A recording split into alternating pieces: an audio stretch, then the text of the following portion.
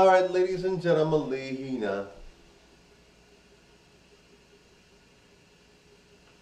Now guys, the thing I love about wearing a dress at a different time period in my life is I get to see the different wigs that I put on at that time and the different looks. It's really nice, you know.